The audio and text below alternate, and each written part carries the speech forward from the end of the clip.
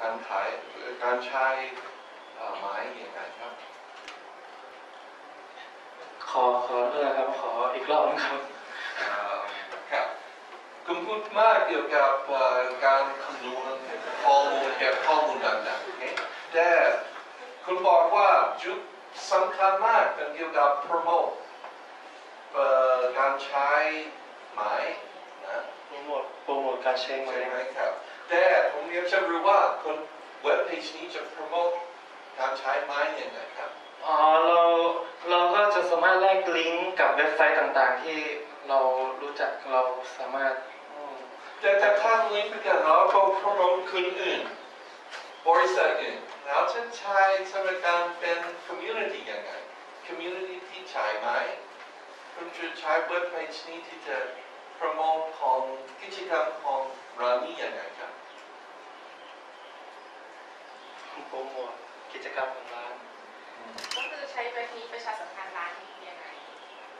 อ๋อการการแลกลิงก์เนี่ยหมายถึงว่าเราก็ต้องโปรโมทหรือว่าประชาสัมพันธ์ร้านอื่นด้วยในเว็บเราครับผม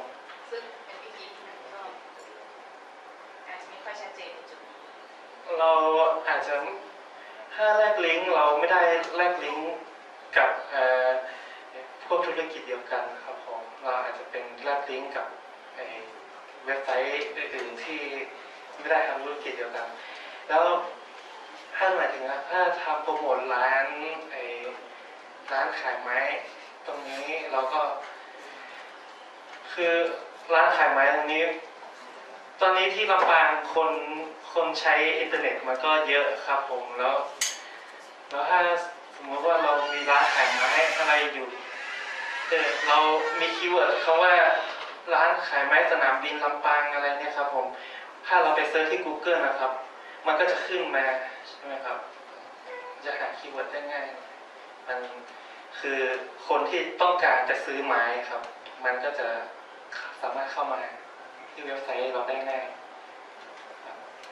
อย่างคนที่ไม่รู้ไม่รู้ว่าจะไปซื้อไม้ที่ไหนที่จังหวัดลำปางเนี่ยครับผมคือเขาไม่เขาไม่เคยซื้อไม้อย่างสมมติว่าเป็นลูก ลูกค้าไม้รายแรกเออครั้งแรกอย่างเงี้ยเขาจะสร้างบ้านเนี่ยครับเขาอยากจะหาไม้เขาอาจจะเข้าไปที่ Google แล้วก็พิมพ์คำว่าอ่าร้านขายไม้ลำปางอย่างเงี้ยครับเขาก็สามารถพิมพ์ไปแล้วก็เจอได้ง่าย อีกเรื่องหนึ่งคือมีสมาชิกของเว็บเพจนี้ผมอยากจะรู้ว่าอะไรเป็นดีเด่นที่ ที่จุดดีเด่นที่จะเอาให้คนสนับสนุนคนที่จะเป็นสมาชิกของเว็บเพจนี้คือคือแน่ๆคือไอการสมัครสมาชิกนี่ต้องเป็นข้อมูลจริงทุกอย่างครับ เพื่อเราต้องการทราบข้อมูลจริง เพื่อเราใช้ในการติดต่อจริง ๆ ครับทำงานจริง ๆ ครับครับตอนนั้นดีสมัครบริษัทแต่สมัครลูกค้า ทำไมลูกค้าต้องลงข้อมูลนั้น มีอะไรที่จะช่วยที่จะเอาให้เขาสนับสนุนคนนั้นจะเอาให้ข้อมูลนั้นไหมถ้าถ้าถ้าลูกค้าต้องการสั่งซอเออสั่งสั่งสินค้าจริงๆสั่งอยากได้สินค้าจริงๆนะครับ ถ้าเขาต้องการทำธุรกิจเออถ้าเขาต้องการทำธุรกิจอะไรติดต่อกับเราเนี่ยครับ เขาก็ต้องสมัครสินค้าเออสมัครสมาชิกไว้เพื่อสั่ง เพื่อสั่งซื้อสินค้าครับผมถ้าไม่อย่างนั้นนะครับ ไม่อย่างนั้นมันจะไอลูกค้าลูกค้าที่ที่ต้องการจะซื้อไม้ของเรา มันมันมีอยู่แล้ว แต่ว่าถ้าถ้าเขาไม่ต้องการจะซื้อเขาอยากจะดูเฉยๆนี่ก็ไม่ต้องสมัครก็ได้นะครับ แล้วจุดที่จะดึงให้ลูกค้า จุดที่จะดึงให้ลูกค้าเข้ามาสมัครนั่นก็ คือราคาของไม้ที่เราที่เรามีอยู่ที่ร้านนะครับผมว่าราคาของไม้ที่ร้านของเรา มันถูก แล้วคุณก็ต้องสมัครมาสั่งซื้อที่ร้านของเราอาอาจารย์เขาคงหมายถึงว่าในส่วนของลูกค้าเนี่ยคือคือแบบว่า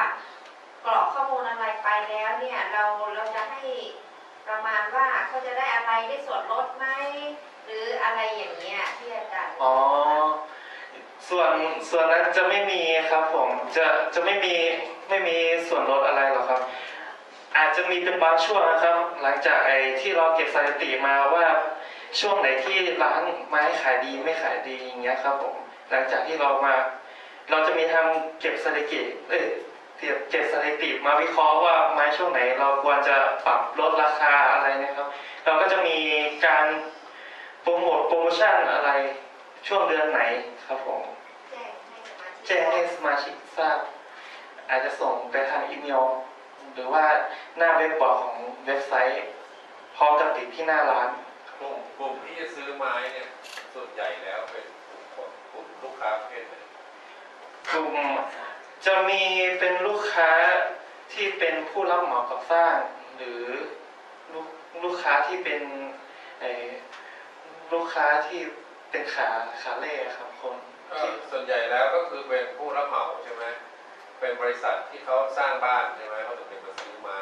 อืมมันมีไม้หลายชนิดด้วยครับบางบางบางคนนี่เขาต้องการแค่ไม้นิดเดียว ไม่ไม่จำเป็นว่าต้องเป็นไอ้ผู้รับเหมาก่อสร้างก็มาซื้อไม้ที่ร้านเราได้ครับ ก็จะถึงถึงย้อนไปถึงที่จะบอกถามว่าแล้วคุณจะโปรโมทร้านยังไง ที่จะให้คนประเภทนี้อย่างคนกลุ่มที่ก่อสร้างเนี่ยเขารู้อยู่แล้ว เนาะกลุ่มที่ผู้รับเหมาเนี่ยเขารู้อยู่แล้ว แต่ว่ากลุ่มเป็นลูกค้าปลีกทั่วไปที่เขาทำยังไงที่จะให้เขารู้ว่าเรามีเว็บตัวนี้อยู่คือเราจะโปรโมทร้านเราอยังไงถ้าสมมติว่าเราจะทำโครงงานออกมาแล้ว ครับ ก็ ก็ก็ก็อาจจะใช้วิธีการแลกลิงก์นะครับ ถ้าถามกับคนอื่นนะถ้าคุณเอาเว็บขึ้นลิงก์ไปแล้ว บนลิงก์คุณจะเขียนว่าไงก็เขียนว่าเอ่อร้านร้านขายไม้เป็นร้านสนามบินไม้ยูคา มีขายไม้พร้อมจัดส่งพร้อมอะไรครับผมก็ก็จะเป็นประมาณนี้นะครับโอ